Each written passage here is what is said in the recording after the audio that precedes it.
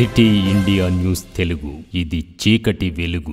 బాల్కొండ నియోజకవర్గం వేల్పూర్ మండలం కుకునూరు గ్రామ పర్యటనకు వస్తున్న ఎంపీ అరవింద్ని అడ్డుకోవడానికి వేల్పూర్ క్రాస్ రోడ్డు వద్ద నిరసన చేపట్టారు బాల్కొండ నియోజకవర్గ రైతులు.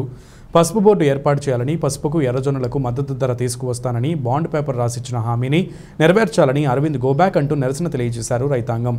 కార్యక్రమానికి రాకుండానే ఎంపీ అరవింద్ వెనుదిరిగారు.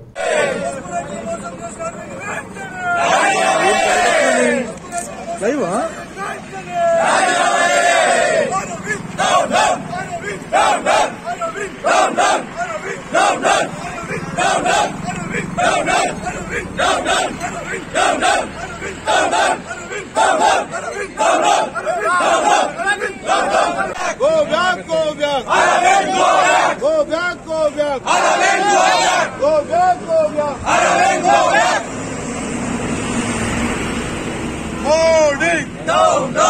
Holding! No!